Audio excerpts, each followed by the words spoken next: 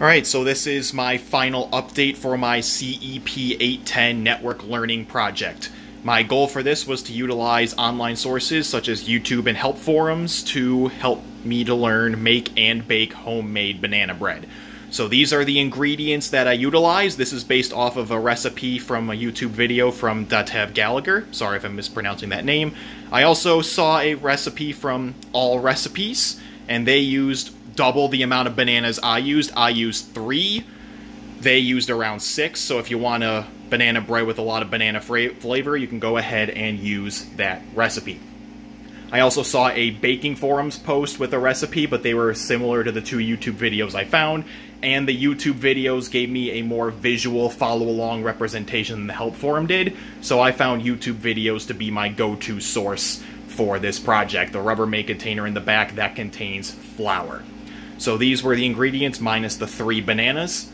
So for the bananas, I found it easier to mash the more ripe they were. So the more ripe the banana is, the softer it will be and the easier it is to mash. You can use a potato masher. I went ahead and used a fork, whichever one is better for you.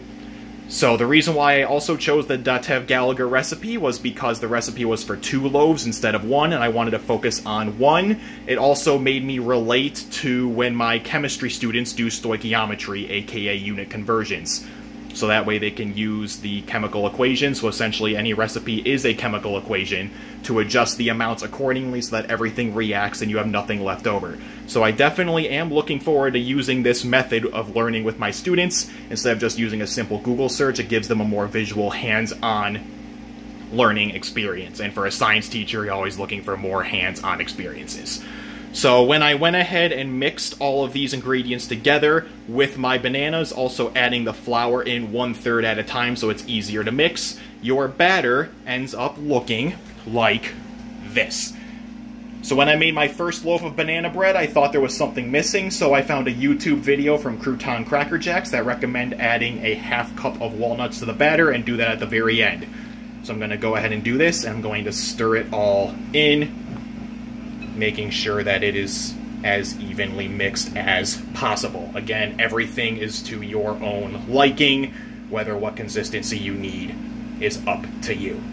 So as far as baking the banana bread, the oven is currently preheating to 350 degrees, and it's going to take about an hour, an hour, five minutes to bake. So over here I have my loaf pan sitting on a cookie sheet, and as far as greasing up the loaf pan, I started out with butter since that's what all the videos and help forums were using, but the butter didn't really work out that well, so I switched to PAM non-stick cooking spray, and that worked a lot better. So currently, my loaf pan has been panned up, so what I'm going to do for you now is pour the batter into the loaf pan. So reset my camera. So I'm going to be using the spatula to go ahead and guide the batter into my loaf pan, getting as much of the batter out of the bowl as I possibly can. And I want to make sure that the top of it is smoothed out so that way it bakes a little bit easier. In order to know when you're done, you can use the toothpick test, or you can just use a fork. So you take a toothpick or a small fork when it's taken out of the oven, put it through the center of the banana bread, take it out. If the toothpick or fork comes out clean, you are good to go. If it does not come out clean, that is an indication as to if you need to cook it longer. So that's my batter in there. And what we are going to do now is we are going to go ahead and put it in my oven. I'm going to be putting it on the top rack. And once it is all done, in true Food Network fashion, I have a finished banana bread right over here. And I went ahead and put a slice out for everyone to see. So overall, I really learned a lot from this experience.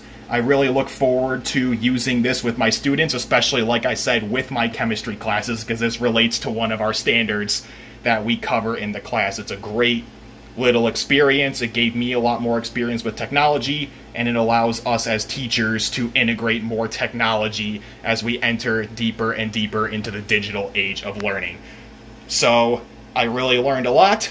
Let me know if you have any questions, and I encourage you to check out my previous video on this and my blog posts. Thanks.